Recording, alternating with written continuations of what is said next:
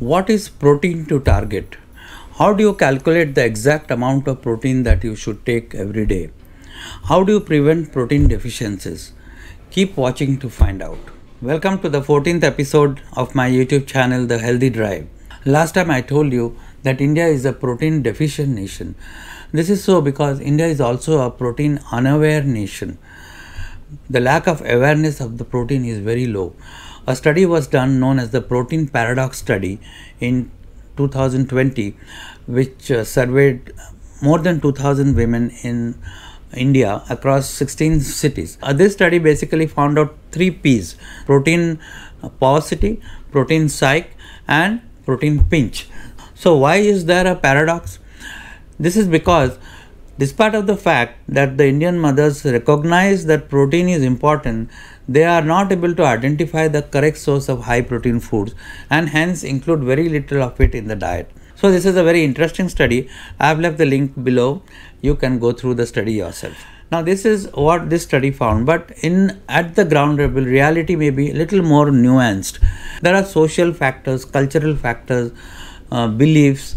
Uh, an example is that even if you can afford protein, the women of the household will include it in the diet, but keep it aside for the male members to eat first, and the the female members and the girl child they get the last preference. This is something very peculiar to the culture of our country. In many households, it still exists, and that may also affect the protein intake. So, if you compare uh, protein consumption of India with other countries around the globe, India is perhaps the lowest. This is a very peculiar thing in India that both vegetarians and non vegetarians uh, suffer from protein deficiency, and uh, the so called non vegetarians also do not eat adequate protein. So, how much protein should we take? What should be the targeted protein intake in a day? The National Institute of Nutrition Hyderabad recommends that the minimum amount of protein or the RDA recommended dietary allowance should be 0.8 grams per kg per day. Now that is the bare minimum which is required to prevent protein deficiencies. Most people in our country eat way below that or even half of that they eat 0.4 to 0.5 grams per kg of body weight which makes them protein deficient now i would recommend that uh, to for any active person, whether it's a growing child or whether it is an active adult, and even more so when you are growing older, the body needs much more protein. So, your recommended or your actual intake should be 1 or 1.1 grams per kg of body weight per day.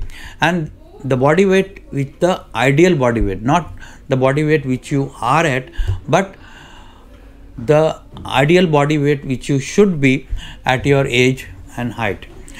So, if you want to keep the protein to target at 1.1 grams per kg per day, then for a male it should be around 70 grams, and for a female it should be 60 grams. Now, is this a high protein recommendation? If you compare it to the RDA, it is high protein, but this is what is necessary. The RDA, mind you, once again i am telling is just the bare minimum and is not adequate for the for any active person especially for growing children and active adults and also for elderly people where the protein requirement goes up. And if you are doing resistance training if you are doing exercises which many of you are doing so in that case the protein requirement would be even higher. Uh, i would recommend than 1.2 to 1.6 grams per kg of body weight per day. You should aim to eat at least 20 grams of protein with every meal. Research has shown that uh, eating 15 to 25 grams of protein with every meal stimulates protein synthesis and stimulates muscle building. The next question is what foods should you eat to meet your protein to target? Now, eating and meeting protein to target need not be a complicated affair all you need to be aware is the high protein content in each of the foods which you can come across or which you can purchase and eating accordingly. And being mindful that when you are feeling full because protein as you know is very satiating and will keep you satiated and you will not feel hungry for a very long period of time. So let's have a look at the different kind of foods and their protein content. If you have a look at this chart which uh, shows the proteins at a glance. The source is lifted on the left and the serving size and amount is listed on the on the right side. So from dairy you get milk and paneer and curd and yogurt uh, one cup of which will give you 8 grams uh, one half cup of paneer will give you 6 to 8 grams and um, uh, yogurt one cup will give you around 6 to 8 grams pulses as you know is a rich source of protein and you get uh, 6 to 8 grams from half cup and if you have dal tadka you will get 6 to 8 grams from 1 cup. And besan will give you 10 grams in 1 cup. Uh, sattu which many people have uh, in the morning uh, will give you 12 to 15 grams in 3 tablespoon uh, if you take 3 tablespoonfuls sprouts is a very popular um, breakfast item and um, uh, is a rich source of protein but one cup will give you around 6 to 8 grams only. Soy protein is a very good source of protein and whether it is uh, soya flour or tofu one cup will give you as much as 20 gram. Soy is actually considered a complete protein because all the essential amino acids are present in soy protein uh, nuts are also rich sources of protein. If you take around 20 nuts as a snack, you will get around 6 grams of protein. Green leafy vegetables, um, as you saw in the protein paradox study, is perceived to be a high source of protein, but it is not protein rich. You need 100 grams of spinach, uh, which will give you only 2.9 grams of protein. So, this chart is very important. You can follow this chart to calculate your protein to target in a day. And this chart uh, the sources are dairy and vegetables. So for those of you who always ask me that i am a vegetarian and how do i meet my protein requirements this will be very very useful. So i'll keep this going for some more time. As i tell you a little more about how to meet your protein requirements being a vegetarian or eating a plant based diet Although many plants contain all the nine essential amino acids, in most cases one or more of these amino acids are present only in small amounts. Additionally, the protein in most plants is not digested and absorbed as easily as the protein in animal foods. For this reason, most plants are referred to as incomplete proteins. So, although the proteins, the amino acids are there, it is not bioavailable as much as the animal proteins. Certain plants like hemp seed uh, quinoa, and nutritional yeast have been described by some as complete proteins. That includes tofu also from soy protein. However, each of these plants is slightly low in one or more of the essential amino acids. It is more accurate to say that these foods provide a nearly complete protein. Uh, soya, as I said, is considered a complete protein because it provides all the nine essential amino acids in amounts comparable to milk proteins, casein, and whey. Your body also digests and absorbs soy protein quite efficiently. Grains actually tend to be lower in lysine. Lysine is considered to be a critical amino acid, which is essential, of course.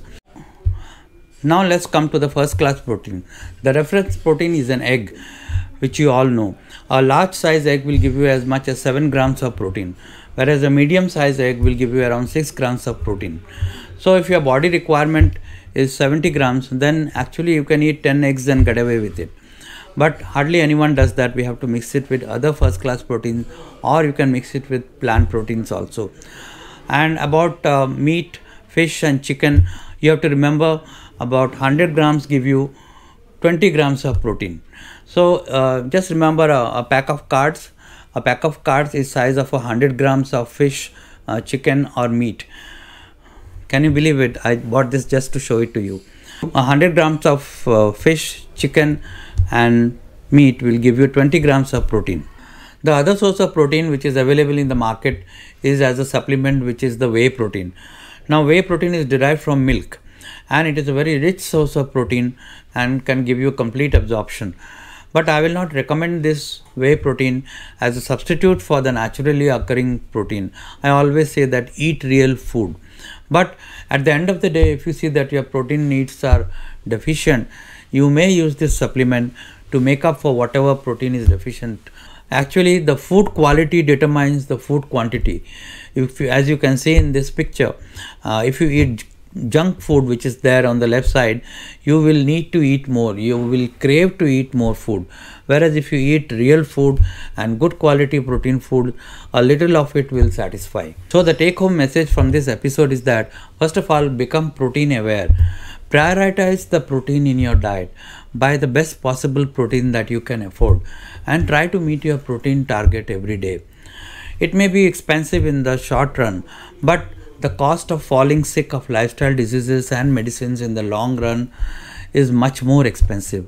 This is the best possible investment that you can make on your health. It is like a health insurance policy. So, I wish you good health and good amount of protein awareness and good amount of eating protein don't forget to subscribe to this channel and share this information with your friends and i'll catch up with you next time